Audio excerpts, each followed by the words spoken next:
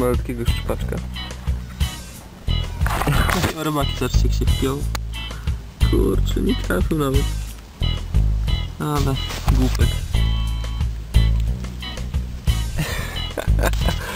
Lekki głupek mały. Przynajmniej trochę powalczył na pikerku. Ej, ej, ej.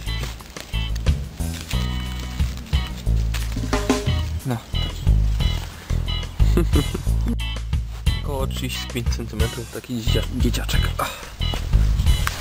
I naprawdę